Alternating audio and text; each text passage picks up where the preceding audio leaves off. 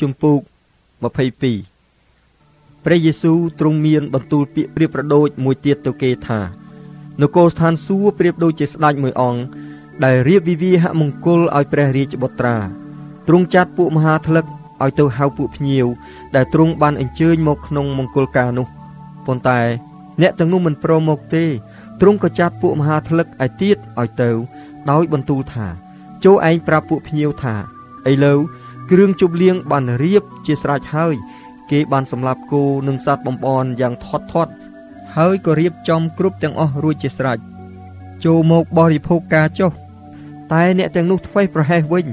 ម្នាក់ក៏ទៅឯចំការខ្លួន ម្នាក់ទៀតទៅឯការជំនួញ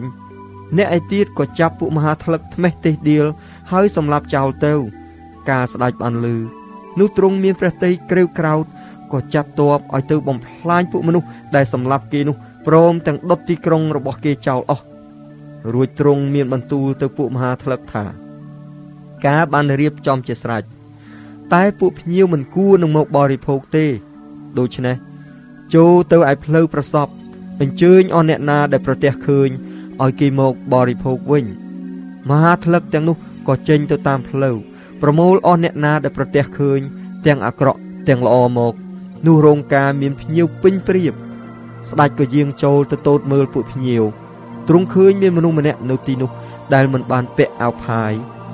ក៏មានបន្ទូលទៅអ្នកនោះថាសំឡាញ់អើយ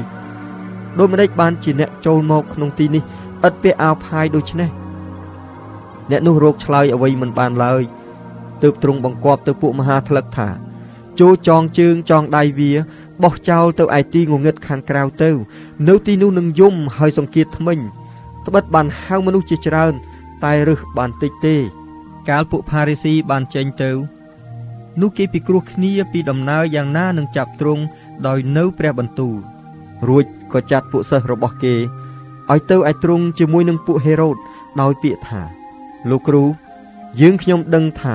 លោកពិតត្រង់ហើយថា លោកបង្រៀនពីផ្លូវព្រះដោយសេចក្តីពិត ឥតមានអំពុលដល់អ្នកណាឡើយព្រោះលោកមិនយល់មុខមនុស្សណាទេដូច្នេះសូមប្រាប់យើងខ្ញុំដែលលោកគិតដូចម្ដេចតើមានច្បាប់នឹងបងពុនថ្វាយសេសាឬទេ តែព្រះយេស៊ូវទ្រង់ជ្រាបឧបាយកលរបស់គេក៏មានបន្ទូលតបថាមនុស្សកំពុតអើយហេតុអ្វីបានជាអ្នករាល់គ្នាលបងខ្ញុំដូច្នេះចូលបង្ហាញប្រាក់ដែលបងពុនមកឲ្យខ្ញុំមើលចុះគេក៏យកប្រាក់កាក់ធំមកថ្វាយទ្រង់តូត រួចទ្រង់មានបន្ទូលសួរថារូបនេះនិងឈ្មោះនេះតើជារបស់អ្នកណា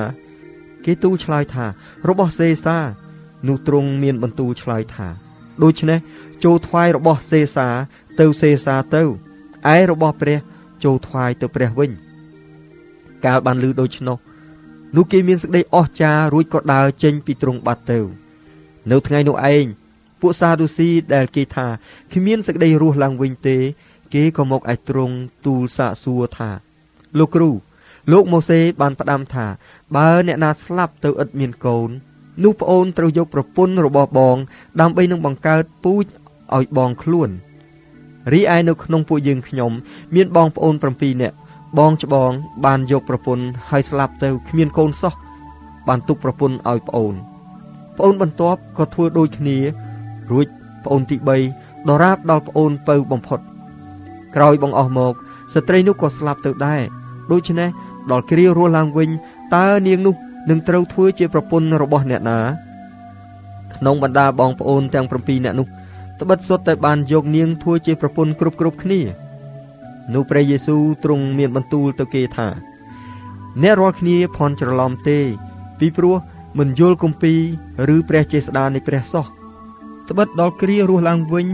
នោះគេមិនយកគ្នាជាប្តីប្រពន្ធទៀតទេ គឺបានដូចជាទេវតានៃព្រះ ដែលនៅស្ថានសួគ៌វិញតែត្រង់ឯសេចក្តីរស់ពីស្លាប់ឡើងវិញតើអ្នករាល់គ្នាមិនបានមើលសេចក្តីដោយព្រះទ្រង់បានមានបន្ទូលនឹងអ្នករាល់គ្នាទេឬអីគឺថាអញជាព្រះនៃអាប់រ៉ាហាំជាព្រះនៃអ៊ីសាក់ហើយជាព្រះនៃយ៉ាកុបព្រះអង្គទ្រង់មិនមែនជាព្រះនៃមនុស្សស្លាប់ទេ គឺជាព្រះនៃមនុស្សរស់វិញ ឯបណ្ដាមនុស្សក៏នឹកប្លែកក្នុងចិត្តដោយឮសេចក្តីដែលទ្រង់បង្រៀននោះ តែកាលពួកផារេស៊ីបានឮថាទ្រង់ធ្វើឲ្យពួកសាឌូស៊ីបាត់មាត់ដូច្នោះនោះគេក៏មូលគ្នា ហើយពួកគេម្នាក់ដែលជាអ្នកប្រាជ្ញខាងច្បាប់ក៏លបងសួរទ្រង់ថាលោកគ្រូ ក្នុងបណ្ដាក្រឹតវិន័យតើបញ្ញត្តិណាដែលយ៉ាងសំខាន់បំផុត នោះព្រះយេស៊ូវឆ្លើយថា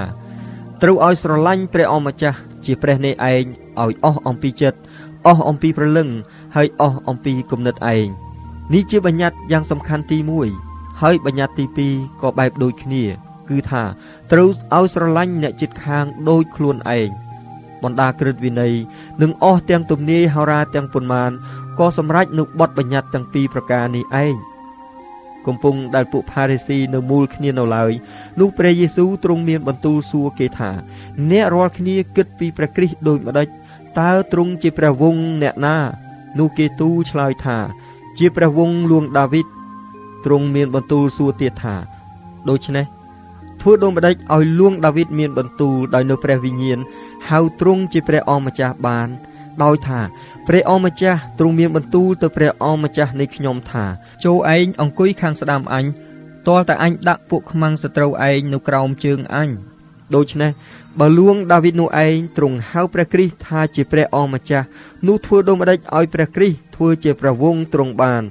តែគ្មានអ្នកណាអាចនឹងឆ្លើយតបទៅទ្រង់មួយម៉ាត់បានទេ រួចតាំងពីថ្ងៃនោះមកគ្មានអ្នកណាហ៊ានទូលសួរទ្រង់ទៀតឡើយ។